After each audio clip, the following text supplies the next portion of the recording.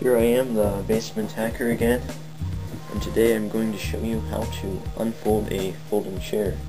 For those of you who have always been perplexed by how it is actually done. First you take the chair and grab the back of it, and you push down on the seat, like so.